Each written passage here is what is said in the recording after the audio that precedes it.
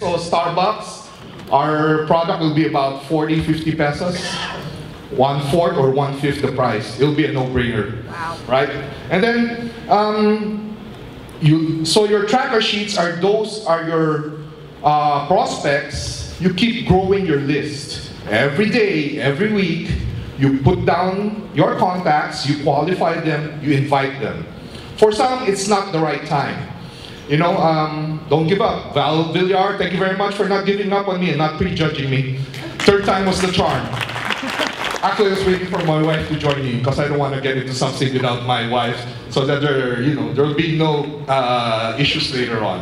And then platinum. This is where it becomes interesting. Um, I worked 90 days, actually 83 days, and I hit platinum. Uh, Francis, 30 days. Uh, Philip Sarmiento, platinum of 45. We have a person, he's not here right now, who's done it in three days. It can be done. No matter how long it takes you, it can be done. Platinum is simply, next slide please,